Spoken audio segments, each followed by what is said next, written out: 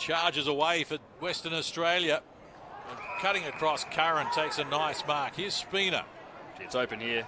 Stengle hands over to Gibbs, running through the middle of the ground. Well, kicked earlier than he probably needed to there. Martinez dropped what he should have taken though. Jack Hayes goes to Partington. In turn, Stengle in traffic runs away from two would-be tacklers and finishes in style.